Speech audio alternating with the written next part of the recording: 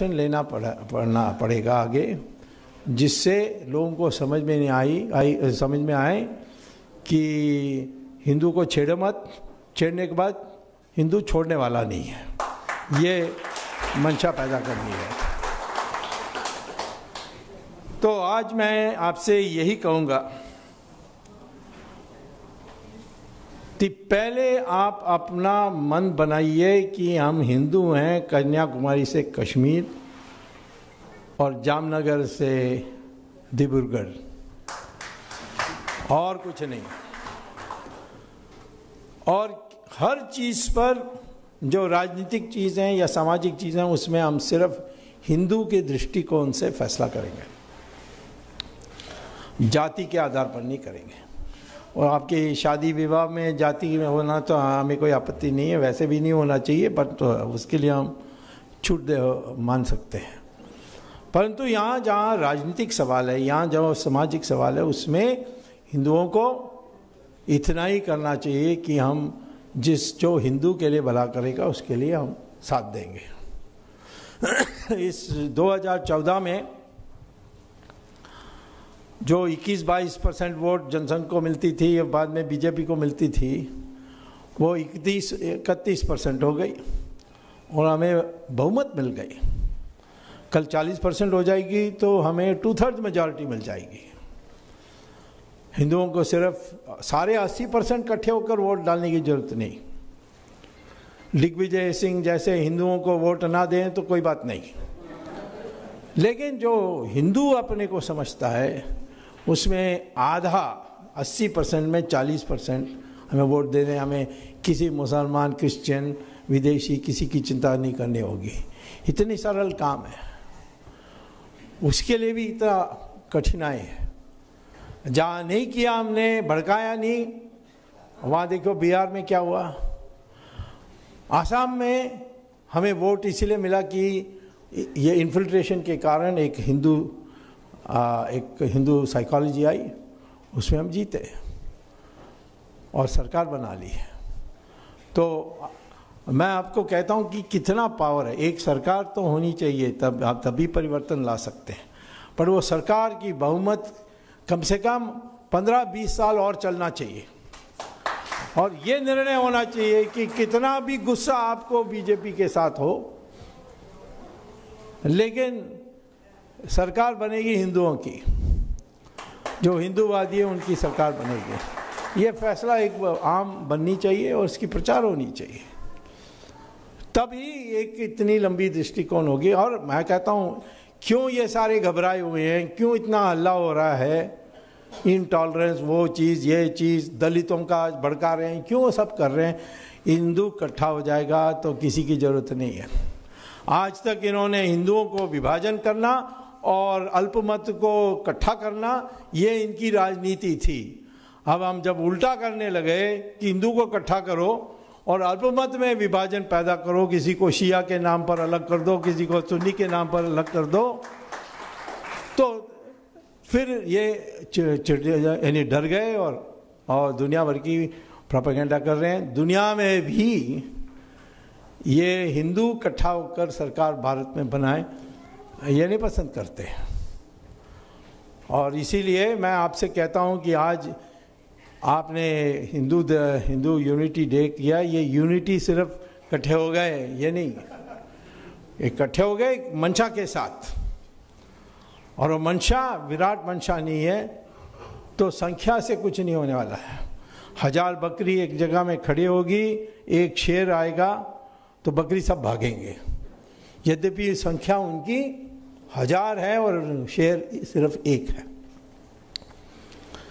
आप कितने भी शक्तिशाली हो, कितने भी हवाई जहाज़ हैं टैंक्स हैं, परंतु तो मंशा नहीं है तो आप लड़ भी नहीं पाओगे। एक सर्कस में पाँच सिंह खूब अच्छे खिला करके तगड़े सिंह बैठे होंगे। एक दुबला पतला रिंग मास्टर अंदर आएगा और उनको हुक्म देगा, ऊपर चढ़ो। सब ऊपर चढ़ेंगे। मुँह खोलने के लिए कहा, सब मुँह खोलेंगे। और फिर अपना गर्दन रखेगा उसमें। सब ताली बजाएँगे। यानी वो वो जो सिंह है, उसको अपनी शक्ति नहीं जानता है। शक्ति है, परंतु तो जानता नहीं है। और इसीलिए वो हुक्म मानना उसको सिखाया गया है। हम लोग हिंदू भी वैसे ही हैं। हम लोगों को ये सिखाया गया है। ये छेड़ो मत, सेक्युलर बनो, सबको मानो यानी हमारी परंपरा है कि हम सबके लिए छूट दी है, तब भी हमें सिखाते हैं। और यानी नपुंसक बनाने की एक साजिश रही है, उसमें हम अंग्रेज़ों ने हिस्ट्री बुक्स लिखी, इसमें दुनिया भर की झूठ, हम एक देश नहीं हैं, अंग्रेज़ों ने बना कर दिया हमें। अंग्रेज़ ने उल्टा किया, इसका दो टुकड़ा किया। आपको पता है कि अंग्रेज़ों ने जाते समय 600 अलग देश बनाकर गए थे।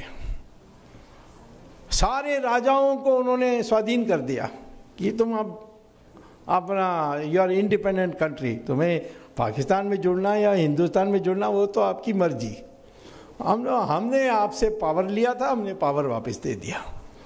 और जो उनके हाथ में प्रत्यक्ष रूप से जो कंट्रोल थी, वो सिर्फ़ 22 परसेंट ज़मीन थी। उसका दो टुकड़ा किया, एक पाकिस्तान और एक हिंदुस्तान। तो फिर सरदार पटेल ने बैठकर एक एक को साम दाम भेद दंड करके उनको जोड़ते जोड़ते जोड़ते उन्होंने 500 को जोड़ दिया। एक 600 बाकी जो 100 थी लगभग वो पाकिस्तान गया। उसमें एक जो, एक दो ज़बरदस्ती किया। बलूचिस्तान नहीं जाने चाहता था, परंतु तो उन्होंने सेना भेज करके और उसको मारकाट करके उन्होंने बलूचिस्तान को पाकिस्तान का हिस्सा बनाया। नहीं तो हमारी देश क्या होती? अंग्रेज़ों हमें नहीं बनाया। अंग्रेज़ों ने सब टुकड़ा टुकड़ा टुकड़ा छोड़ कर गए। और इसको सरदार पटेल ने बनाया। जब हम सरदार पटेल की बात करते हैं, कांग्रेस को चिढ़ाता है, ये तो हमारा आदमी है, तुम आप कैसे बोल सकते हो? मैंने कहा, तुम्हारा आदमी है तो भारत रत्न क्यों नहीं दिया सरदार पटेल को? भारत रत्न 1991 में मेरे दस्खत फॉर लॉ मिनिस्टर से इनिशिएट होकर उनको प्रधानमंत्री चंद्रशेखर की दस्खत के साथ 1991 में सरदार पटेल को मिला था। और जब मैंने फ़ाइल देखा 1954 में भारत रत्न देने की प्रक्रिया शुरू हुई। पहला, भारत रत्न जवाहरलाल नेहरू जवाहरलाल नेहरू खुद लिखता है। कि Jawaharlal Nehru hereby award Bharat Ratna to Jawaharlal Nehru. Sardar Patel की नाम प्रपोज की थी अगले साल? नौ काट दिया काट दिया काट दिया। इंदिरा गांधी ने भी वही किया। वो उसने इंदिरा गांधी ने भी खुद को भारत रत्न दिया। अंबेडकर को 1990 में देश ने भारत रत्न दिया। कांग्रेस ने नहीं दिया था। तो इसीलिए सरदार पटेल नहीं होते, अंबेडकर नहीं होते, हमारे देश टुकड़ा टुकड़ा हो जाता है।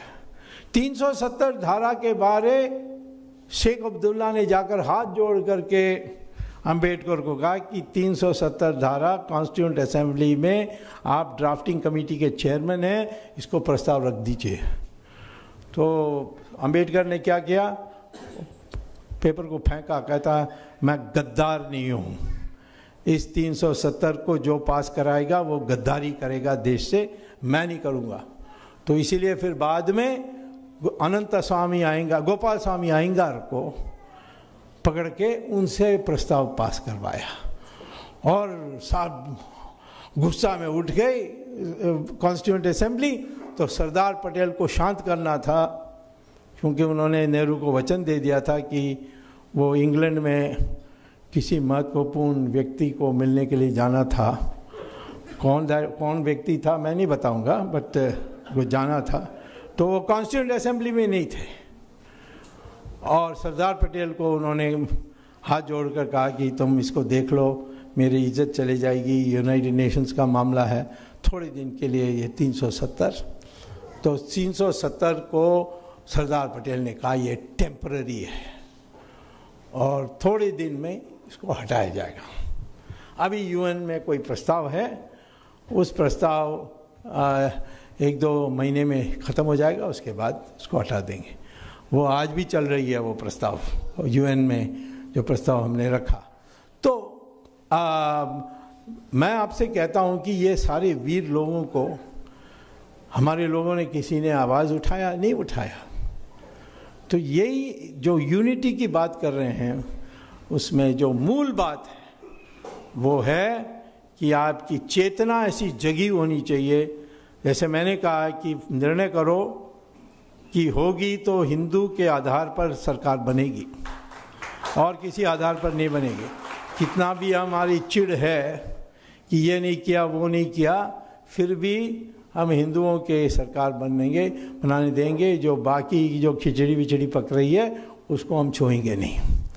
जैसे आसाम के लोगों ने किया, जैसे आपने 2014 में किया, वैसे ये निर्णय पहले करिए। दूसरी है जो आपकी जो आम तौर पर मैं मांग सुन रहा हूँ, वो सारे एक एक को निश्चित तौर पर क्रियान्वित करेंगे।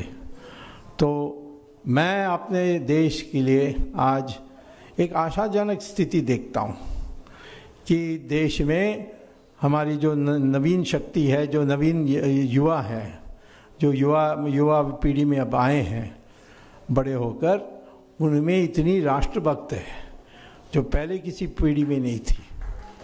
तो भविष्य उज्जवल है, लेकिन ये जो हीन भावना है कि हम संकोचित होकर बोलते हैं इधर उधर देख के बोलते हैं, ऐसा नहीं, एक छाती ठोक कर बोलना चाहिए कि हम हिंदू हैं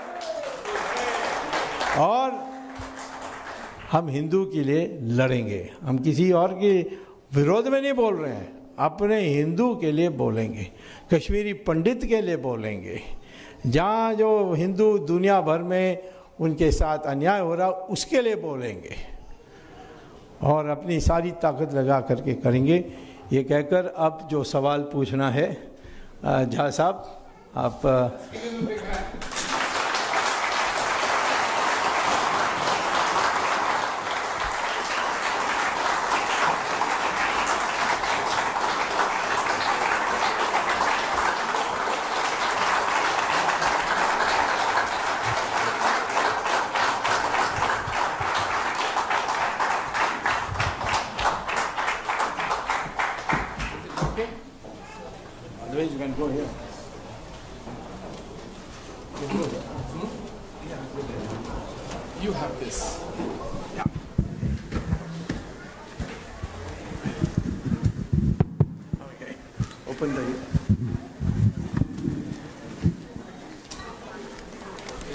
we request your continued silence.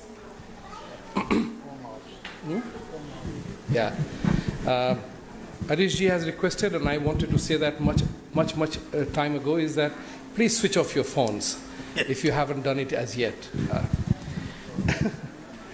now, it is truly an honor to be here, to be having a discussion with Dr. Swamy.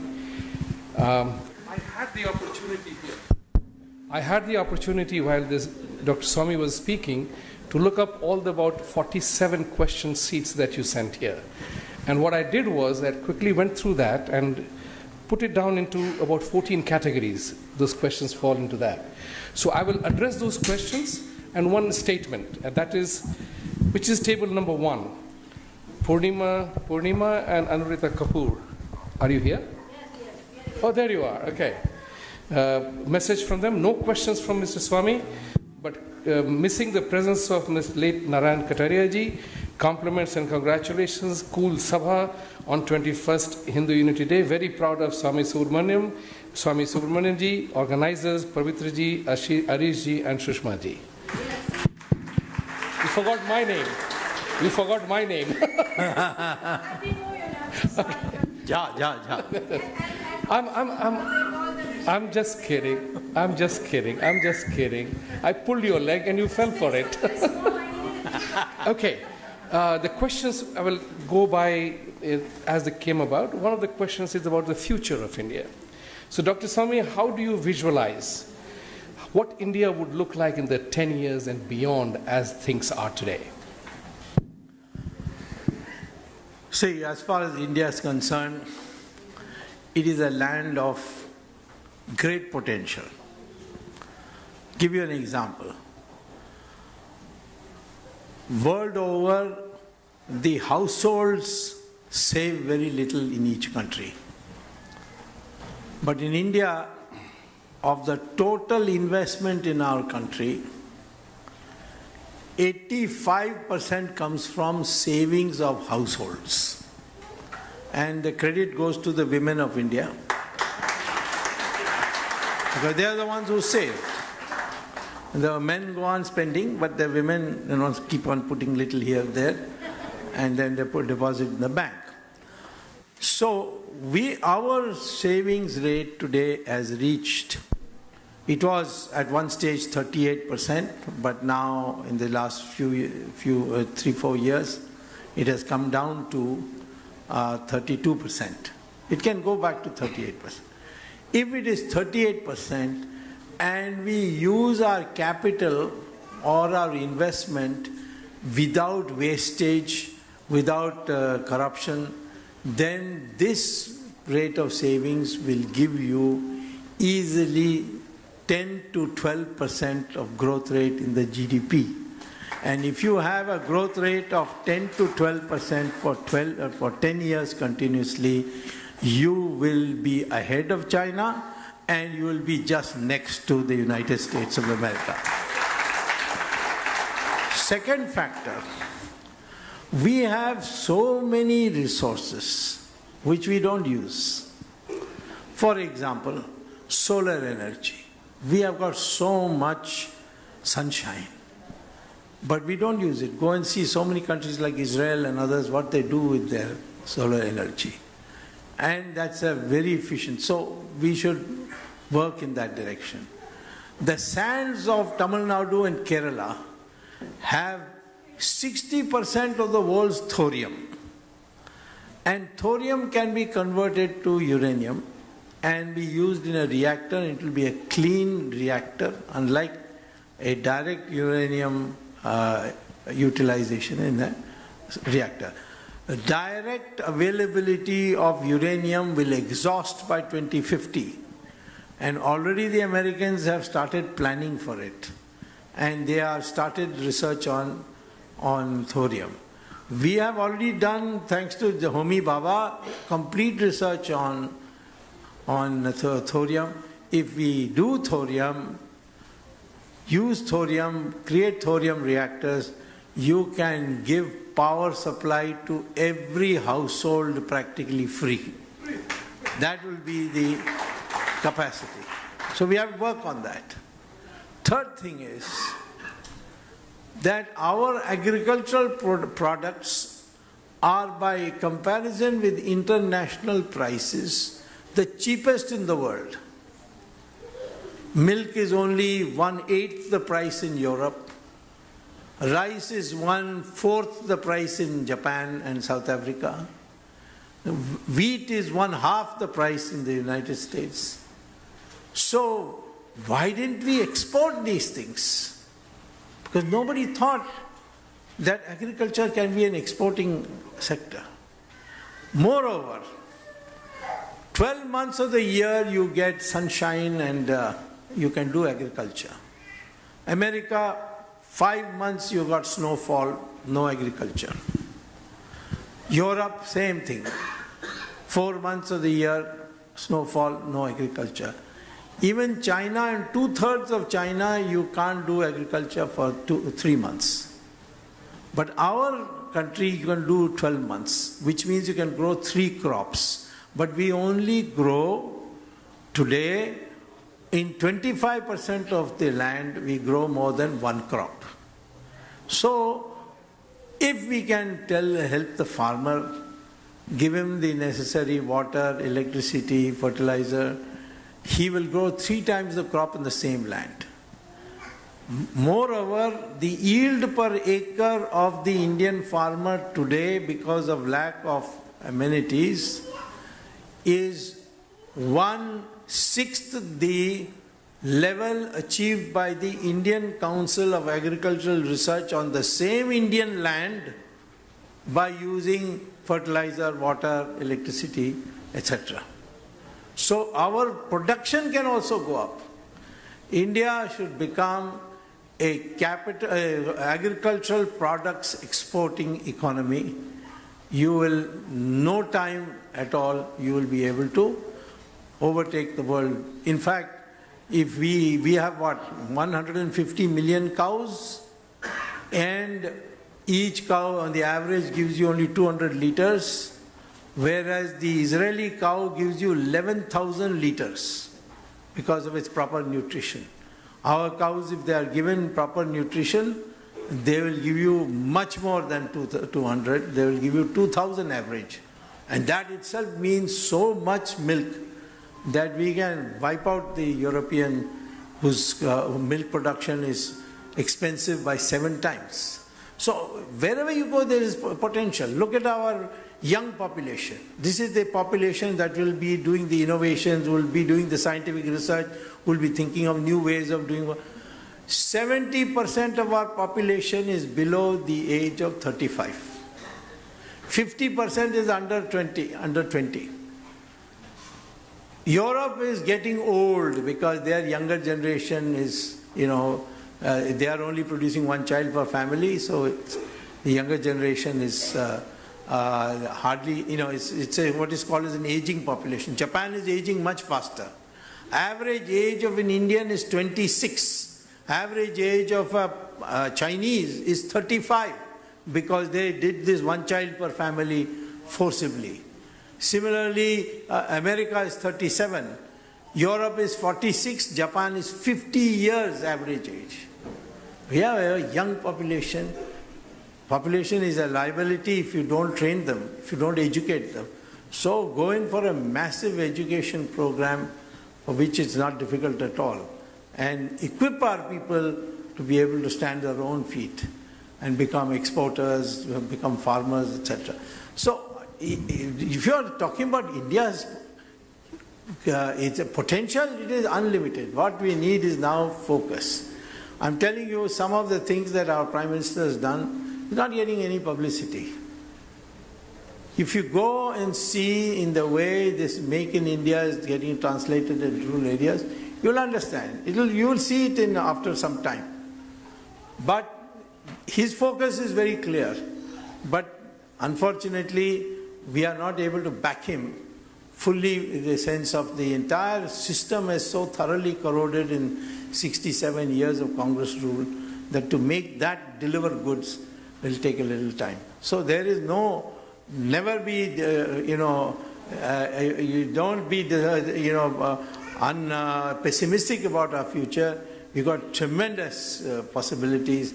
India will be, it was once upon a time the most developed country in the world up till the year 1300 and I will predict to you by 2050 India will once again become the most developed country of the world.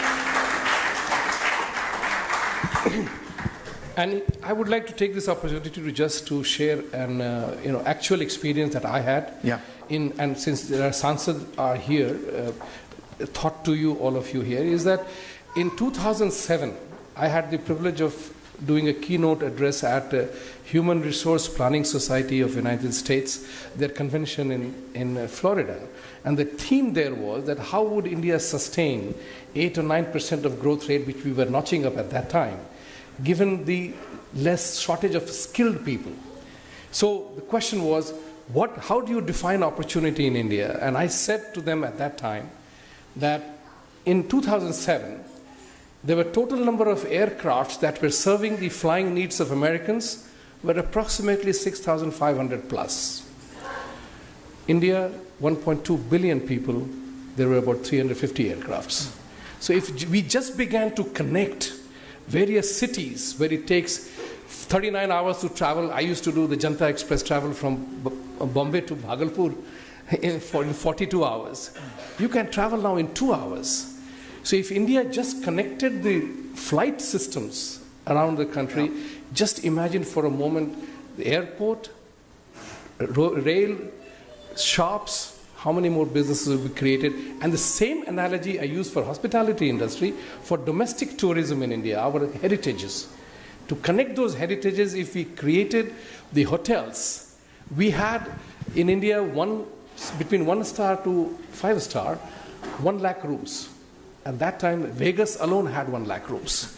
So think about the opportunity that look, India Look at the number of foreigners coming to our hospitals. Yes, yes.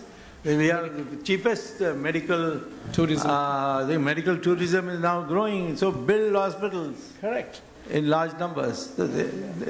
Thank you. The next question is there were, there were several questions about India's dreaded caste system. yeah. And uh, many people have asked that question why can't we abolish it? Why can't we have a economically driven uh, you know, reservation policy? And how did Hindus allow, like you had mentioned, that uh, how did Hindus allow to be branded with various caste structures? What can we do about it now? See, first, please understand, we have two, two, two concepts, and the British and the Portuguese collapsed it into one, and they called it caste. One is called Varna, and the other is called Jati. Jati is based on blood, bloodlines. But Varna is not based on, uh, on, uh, on bloodlines. Varna is a division of labor. Brahmin is not a person who is born a Brahmin. Brahmin is a person who takes to what is called as education and gives up all the luxuries of life. That was the original concept, but he will be the highest socially. So Vishwamitra was a Maharishi, but he was born in a Kshatriya family. Same thing with Vedavyasa, who wrote the Mahabharata. He was born of a fisherwoman, but he became a Maharishi. Kalidasa was a uh, cutting wood in the forest, became a Maharishi and a Mahakavi. Valmiki was a Dalit and he became a Maharishi, wrote the Ramayana. On the other hand, Ravan was a Brahmin. How many people know that? He was a Brahmin and he was born uh, not in Lanka, he was born in uh, near Delhi in a place in uh, Noida called uh, Bisrakh. Bisrakh, you can even today go there. There's a big board put by the villagers very proudly. Ra- uh, Ravan was born here. He got, uh, he went to Mansarovar and uh, Lord Shiva gave him a boon. With that, he went and conquered Lanka and became the king there. But he committed a crime and so he was punished by a Kshatriya, Lord Rama. Brahmins don't say, oh, this Kshatriya has killed one of my Brahmins. There's no such consciousness.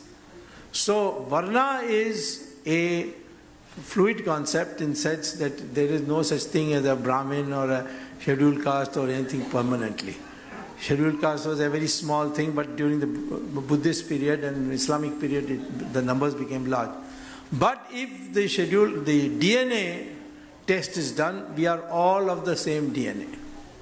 Whether we are scheduled caste or a, or a Brahmin or a Muslim or a Hindu or a Christian or a Hindu, all our DNA is the same. And that means we are one people.